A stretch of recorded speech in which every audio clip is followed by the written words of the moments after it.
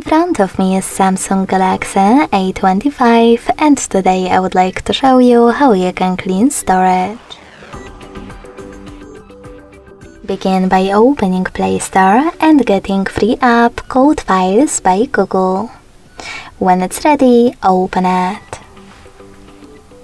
Now to set it up, choose Continue in the pop-up, click Allow and tap on gray switcher next to allow permission. Then select clean at the bottom left corner.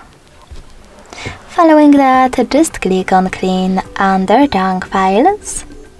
And last but not least, select clear in the pop-up. As you can see, after that, start of my Samsung was successfully cleaned. Thanks so much for watching. If you enjoyed this video, leave a like, comment and subscribe. Bye!